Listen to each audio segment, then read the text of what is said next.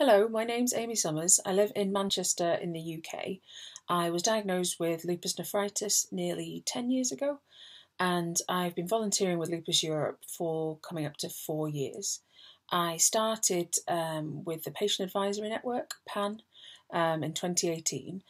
I had never done anything to do with being on, a, you know, in a room with a PowerPoint presentation or anything sort of formal in that sense. My previous work was practical, but um, I'd had to give up my work because of my fatigue and my health, and I was quite lost. And I think joining the PAN gave me some sense of purpose, gave me a community with the Lupus Europe group, in the fact of travelling to meet them and being able to talk through my issues and lupus, and and then I've progressed through to uh, I'm now a EUPATI trained fellow, which Lupus Europe um, encouraged me to do. And now I know a lot more about clinical trials, and it's interesting to see the new developments in treatment for lupus.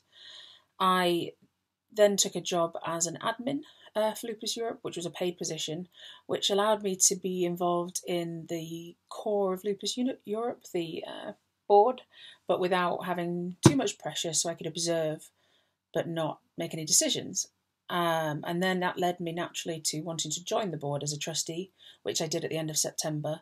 I'd stepped back from my admin role, but it meant now that I had that time to absorb the information of what it meant to make these decisions and then now have a, a voice in that room um, and understand the processes and uh, more of the inner workings of Lupus Europe.